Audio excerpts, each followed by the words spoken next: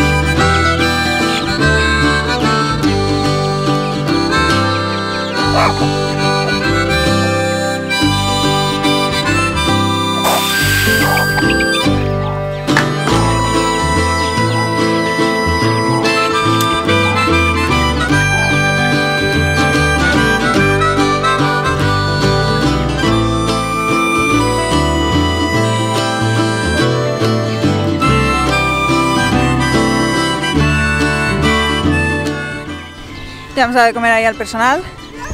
¡Ah! El pavo ya me ha atacado una vez esta mañana. ¡Pavo! De verdad, voy a refugiarme en el huerto. Venga, Neo. Bueno, ha estado lloviendo estos días, estamos encantadas y dan lluvia todo el día de hoy y realmente toda la semana. Vamos a intentar terminar las cosas que queremos hacer fuera antes de que llueva más, porque está chispeando un poco. Pero a ver cuánto llovió ayer. 9 milímetros. Lo vaciamos. Cuenta nueva. Quiere decir que ya en los últimos, en la última semana han caído 30 litros, que está muy bien. Ahora, vamos a dar de comer a las ocas. Y os tenemos que hablar de las ocas. En uno de los últimos vídeos visteis que los oquitos, los chiquititos, que ya tendrán cuánto? Más de un mes, yo diría, ¿no? A lo mejor cinco semanas se estaban empezando a colar en la huerta. Los adultos no caben a través de los agujeros, pero los pequeñitos sí. Pavo está enfadado. Y eh, los oquitos estaban empezando a meterse y por lo menos las ocas grandes se quedaban fuera, pero ¿cuántos hay? 12 chiquititos, hacen mucho destrozo. Y bueno, os voy a enseñar. Mirad aquí. Mordieron el maíz, que bueno, ya se está recuperando. Mirad este. Si nos habéis seguido durante un tiempo, sabéis que siempre tenemos algún animalillo que se cuela en el huerto. Bueno, tomamos medidas rápido porque que los animales se cuelen en el huerto me genera a mí mucho estrés y no puede ser. Entonces los hemos encerrado en el recinto que tenemos entre los frutales en el vergel, junto con los patos y los oquitos adolescentes. Y bueno, no están muy contentos porque obviamente les gusta, ahí el pavo, les gusta la libertad y poder ir por todos lados, pero es lo que es. Entonces les vamos a tener encerrados hasta que sean lo suficientemente grandes para no poder colarse al huerto. Vamos a darles de comer.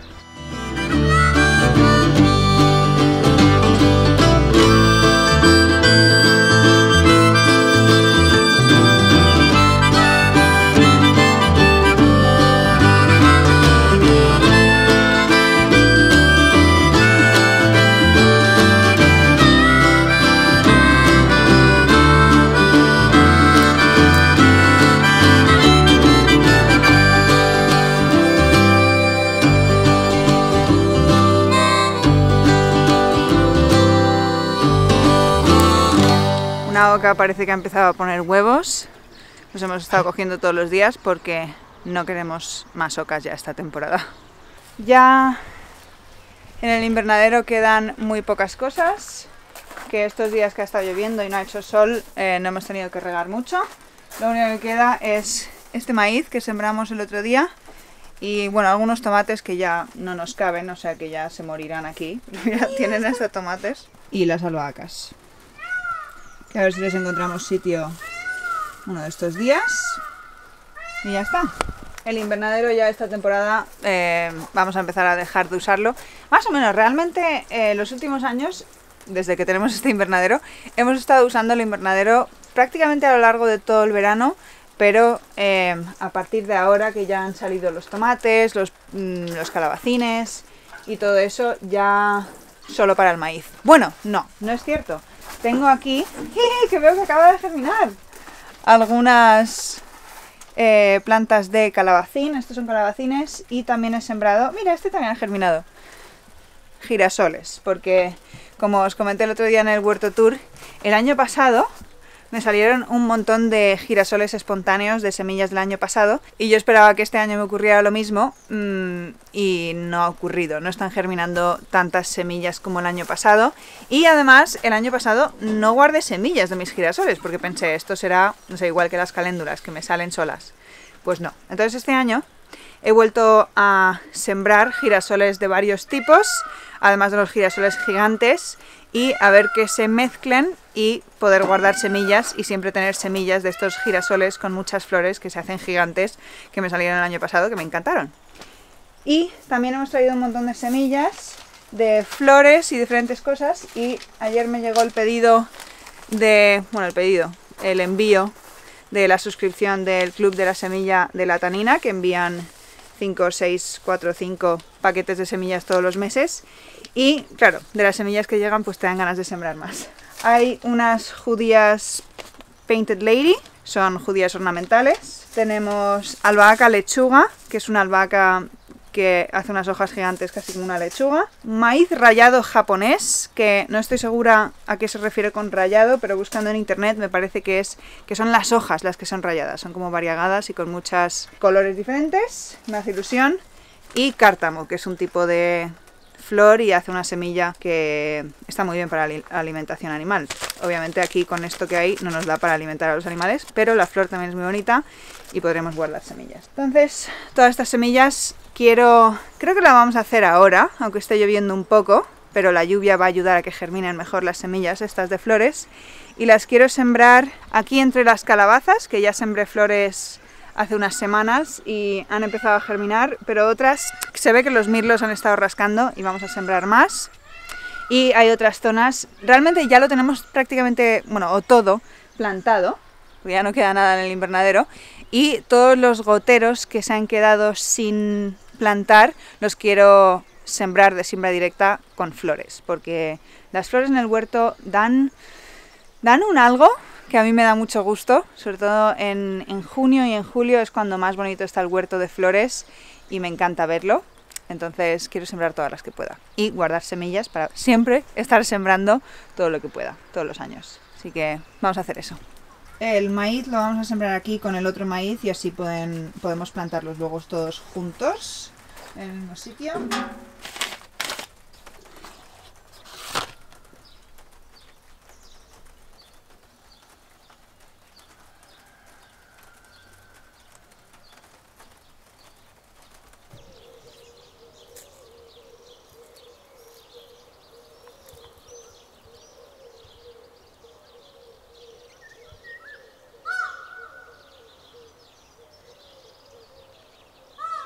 Bueno, no hemos terminado, terminado de sembrar, pero está empezando a llover, o sea que volveremos más tarde.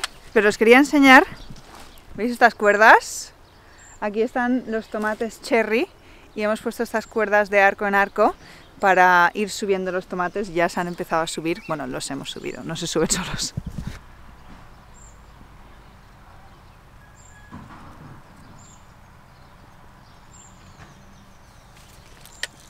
Me encanta cómo está quedando y mira que acaba de empezar, pero creo que va a quedar muy bonito todo esto lleno de tomates cherry, ese es el objetivo por lo menos. Y creo que fue ayer o antes de ayer también empezamos a atar el resto de tomates están aquí, veis las cuerdas que lo que hemos hecho ha sido cambiar aquí esa estructura, que son dos postes a cada extremo del bancal y una cuerda de poste a poste, y de esa cuerda vamos atando las cuerdas que atan los tomates. Cada metro y medio, dos metros, tenemos que poner cañas que tienen que ser suficientemente altas, las ponemos como a dos metros, que nos hemos quedado sin. Entonces vamos a tener que ir a por cañas, que a ver si lo hacemos hoy. Os voy a enseñar los tomates que han quedado muy bien.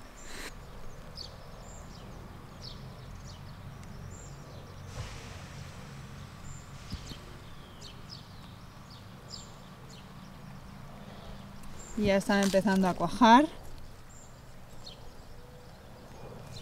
A mí atar los tomates siempre me hace mucha ilusión porque, bueno, quiere decir que los tomates ya han crecido suficiente como para atarlos. Y no sé, da una sensación diferente al huerto cuando las cosas ya empiezan a crecer para arriba, porque el huerto de otoño-invierno es bastante bajito. Tienes las coles, tienes los brócolis, los ajos, todo cultivos bastante bajitos, ¿no? Como mucho tienes guisantes que sí que crecen más pero en verano todo sube para arriba, los tomates suben para arriba, los maíces suben para arriba, los melones, los pepinos y bueno, a mí me encanta. Entonces, en cuanto empezamos a subir los tomates ya es que se hace todo tan alto y la sensación de jungla una vez, como en junio o julio ya da esa sensación y a mí me encanta. Pero bueno, queremos ir a por cañas, pero os tengo que contar una noticia emocionante. El otro día yo ya empecé a sospechar, bueno, ya os enseñamos en, hace unos vídeos que Emero había montado a Esmeralda, y si queréis verlo os dejo el vídeo en la descripción de este, de este vídeo. Yo empezaba, a ver a Esmeralda un poco sospechosa. Para empezar, ya no quiere que Emero la monte, y de vez en cuando hace gritos como Emero, como que de repente oímos dos pavos haciendo el ruido que normalmente hace, hace Emero y nos damos cuenta de que es Esmeralda haciéndolo. Entonces el otro día pensé, ¿y si lo está haciendo para distraerle? Porque normalmente ella no quiere, o las hembras en general, no quieren que el macho vea el nido, ¿no? Entonces sospeché que a lo mejor hace ese ruido como para distraer a Emero y llamarle desde otro sitio para que no vaya al nido. Bueno, entonces yo fui a ver dónde estaba gritando y investigué la zona. Y amigos, hemos encontrado el nido es muy emocionante. De momento solo tiene un huevo. El año pasado incubó cuatro, pero encontramos uno o dos, ¿no? Uno más. O sea que puso seis el año pasado y vamos a esperar a que ponga más y tenemos que empezar a tomar esa decisión si queremos pavitos o no queremos pavitos. Anika dice que sí. A mí la idea me genera estrés.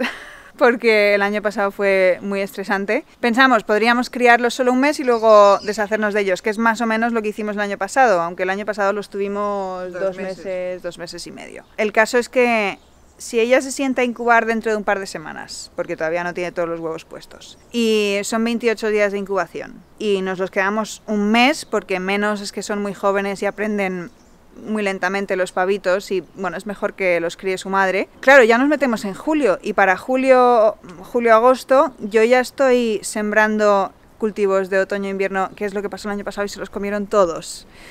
Entonces, yo estoy más bien pensando que no. Anika le hace ilusión y dice que sí. Y bueno, hemos visto vuestros comentarios y más o menos está igual. Algunos decís que ni se nos ocurra y otros que sí. Pero bueno, le dejaremos para que siga poniendo en el mismo nido, porque si quitamos este huevo, probablemente se buscará otro nido que luego habrá que buscar otra vez. Entonces de momento lo dejaremos este huevo y quizá vayamos quitando los huevos que ponga más, bueno, ya veremos. Pero bueno, vamos a coger cañas para los tomates. También queríamos agradecer a todos los que nos habéis felicitado por el premio que nos han dado, que si no lo sabías nos dieron el premio a la mujer rural 2022 de Asaja Alicante. Está el pavo molestando. Y nada, la verdad es que nos hizo mucha ilusión, no sabíamos ni que existía ese premio ni nada, pero bueno, que muchas gracias por las felicitaciones y si queréis ver el vídeo que nos hicieron por el premio, lo dejaré en la descripción de este vídeo. Y nada, que muchas gracias. Pero bueno, estamos bajando a las cañas y ya que estamos, os enseñamos aquí el nido de esmeralda, que se ha elegido un buen sitio, está ahí, porque aquí encima de este muro y aquí en la esquina al pavo ahí. No suelen subir los perros. Os voy a enseñar. Qué bonito huevo. La verdad es que sí. Qué bien lo ha hecho, lo ha acabado aquí todo. Es bien grande. Es como un huevo de gallina muy grande. Y le debe gustar esta zona porque el año pasado puso los huevos debajo de esta palmera. Entonces cuando yo la oí gritando desde aquí, sospeché. Digo, a lo mejor es que está poniendo otra vez en esta zona. Pero bueno, aquí tenemos las cañas que están aquí en la finca, que por aquí en un pasado pasaba una acequia, que aquí es donde vamos a coger las cañas. Anika lleva las podaderas, enseñar. Y vamos a coger cañas de 2 metros como mínimo y necesitamos unas 10, 12. Vamos.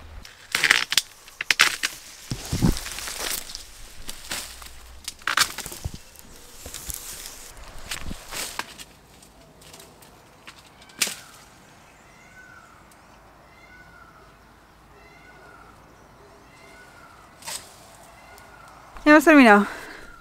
Tenemos aquí todas las cañas, hemos cogido bastante más de las que necesitamos, pero lo que queríamos hacer era ya de paso despejar este camino y limpiar un poco el cañaveral. Y una cosa que no habíamos pensado es que todo esto verde ahora se lo podemos llevar a los caballos, que hoy no van a ir al olivar porque llueve y está muy embarrado y probablemente esta semana si va a estar lloviendo como dicen que va a llover, eh, tampoco van a ir. Entonces todo el forraje que les podamos dar, mejor. ¿Cómo vas, Anika? Parece que no, pero están llenas de agua y pesan un montón. Ay, que con las cañas frescas, por cierto, hay que tener cuidado porque enraizan muy rápido o muy fácilmente. Y si las metemos así, si las enterramos, que no las solemos enterrar, y el suelo está muy húmedo, enraizan en la huerta y tener un cañaveral en la huerta no es una buena idea. Pero bueno, vamos a darle verde a los caballos. ¿Dónde estás? Creo que Ay, me has dejado más cañas a mí, ¿eh? Mira, Esme contemplando lo de ser madre otra vez. la verdad es que se pasa el día ahí mirando a los pollitos. Bueno, vamos a quitarlo verde.